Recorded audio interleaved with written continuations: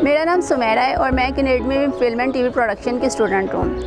During my bachelor studies मेरा weight कुछ बढ़ गया due to overeating but and and later my friends realise me that कि I am very overweight and I look very over age and उन्होंने इस तरह के comments pass किए। यार वॉक किया करो, थोड़ी पतली हो जाओगी। यार, कम खाया करो, रिश्ता नहीं आएगा। हर वक्त खाने को खुद पे सवार किया हुआ है। अपने वज़न की कोई फ़िक्र नहीं है। मुझे हैरत होती है कि कैसे कोई भी किसी के ऊपर इस तरह बात कर सकता है कि आप मोटे हो, छोटे हो। How could you like it's so discouraging और किसी का कॉन्फिडेंस लूज़ करना मेरे नज़दीक ये बहुत बुरी बात है। And after my graduation my mother जो थी वो बहुत ज़्यादा परेशान हो गई कि इसका वेट बहुत ज़्यादा हो गया इसे कोई पसंद नहीं करेगा। लोग कहते हैं कि लड़की स्मार्ट होनी चाहिए शादी के लिए।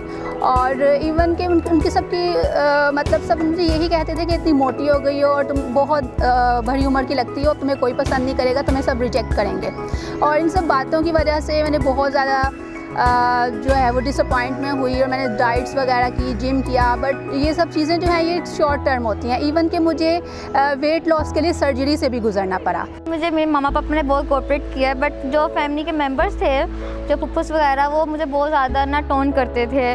और ऐसी तो सोसाइटी में भी लोग बहुत टोन करते हैं कि ना इसको बहुत बुरा चीज़ मानते जाते हैं। वो लोग बात नहीं करते, वो लोग इग्नोर करते हैं। तो सो मुझे तो इस, मुझे ये, मैंने लोगों को देना है कि आइडिया कि आप लोग छोटी हाइट वाले लोग जो भी हैं ना, वो अपने आप को गिल्टी फील ना करवाएँ।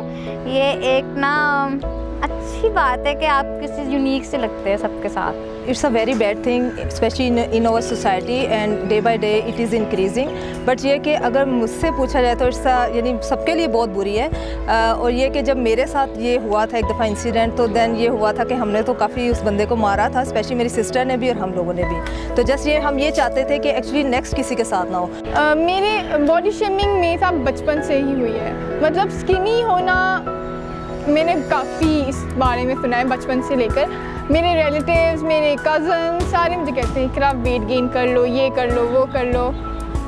काफ़ी सुने अब कॉलेज में आती हूँ कॉलेज में भी लड़कियाँ कहती बस पूरा वेट गेन कर लो तो अच्छी लगोगी फिर। लेकिन मुझे अब कोई फ़र्क नहीं पड़ता क्योंकि इंसान को अपने लिए ही सोचना चाहिए और I am like I am perfect I am proud of my self but my husband never criticise me and दिल से कि तुम जैसी भी हो you are still a beautiful woman for me